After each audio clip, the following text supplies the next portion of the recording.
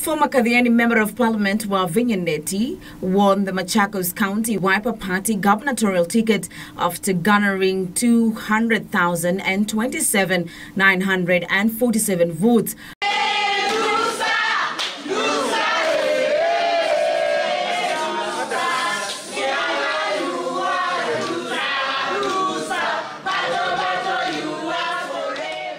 Arrival incumbent Machakos Deputy Governor Bernard Kiala got 4,508 votes. Following the victory, Ndeti will face off with Governor Dr. Alfred Mutua, who is also the Maendeleo Chap Chap party leader. And if you know you're a crack in Ukambani, go and plaster yourself and come and fit yourself with the other Kamba community.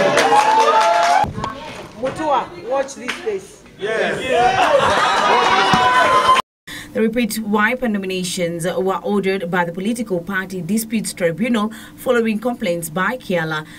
Meanwhile, Ainabkoi MP Samuel Chepkonga will defend his seat on a Jubilee Party ticket after winning a rerun poll conducted at Munyaka polling station in Eldoret on Saturday. Chepkonga secured 13,819 votes, narrowly edging out his rival William Chepkut, who got 13,729 votes. The result is a relief for Chepkonga, the National Assembly Legal Affairs Committee chairperson, who appealed the initial results, uh, citing citing irregularities.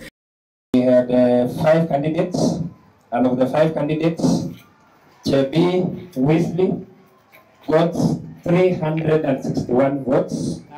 Chepkonga Samuel Kiprono got 13,819. Chepkut William Kamuren got 13,729. So the person who won is Chepkonga Samuel Kiprono with 13,800. Elsewhere, voter apathy characterized the repeat party of National Unity PNU nominations in Embu County, even as former Transport Permanent Secretary Cyrus Njiru, who was one of the gubernatorial aspirants, boycotted the exercise. The exercise, which kicked off at 8.30 a.m. in all 14 polling stations in the county, were well organized as opposed to that of April 22nd. Njiru, who was to battle for the party's ticket against businessman Kithinji Kiragu, said he was not aware of the exercise allegations refuted by PNU Director of Programs Martin Courier. Counting returning officer Timothy Mwema said apart from the two gubernatorial contestants, MCA aspirants would also contest for the ticket in six words. On Friday, the High Court upheld the political party's dispute resolution tribunal's ruling that the PNU Embu County primaries be repeated within 48 hours. The tribunal stopped PNU from issuing certificates to winners of the previous exercise, saying it was marred with irregularities.